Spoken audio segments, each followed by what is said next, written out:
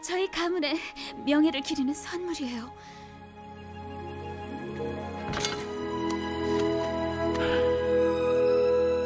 가장 큰 선물과 명예는 너 같은 딸을 둔 것이란다.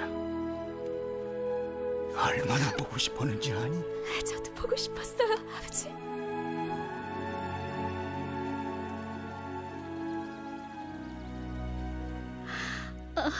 쓸데할 없이 칼은 왜 가져와? 차라리 잘생긴 신랑감이나 대려. 실례합니다. 밀란 좀 볼 수 있나요? 고맙습니다. 어, 나도 전쟁터 나가서 미남 건질랜다. 존경하는 어르신. 저는 어, 밀란. 아, 저 아, 투구를 잊었더라고요. 어, 사실은 정확히 말해서 어르신 투구죠. 그렇죠. 사실 아, 저 저녁 드시고 가실래요? 아예 평생 살면 어때? 저녁이 좋겠네요.